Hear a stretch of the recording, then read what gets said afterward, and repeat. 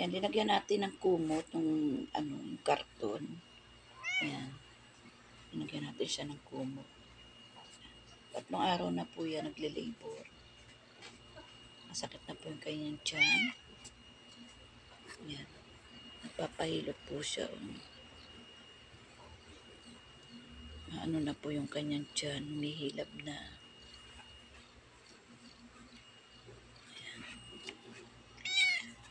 Sakit na.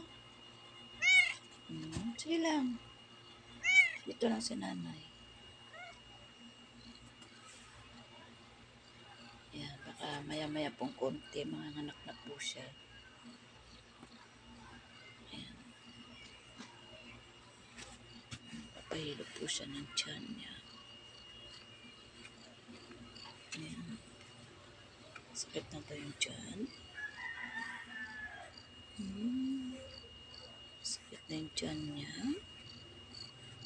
Hmm.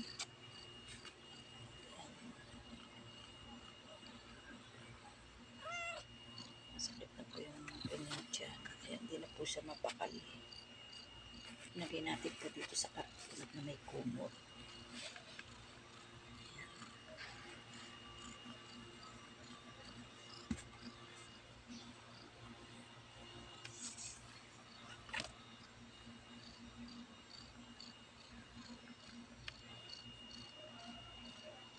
Yan, sumasakit na po talaga yung tiyan niya.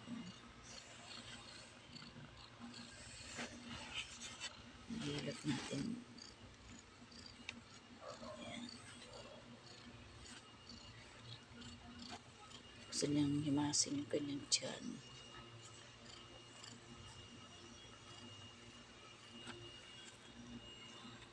Oh, kanyang baby. Lima po ang naging anak niya.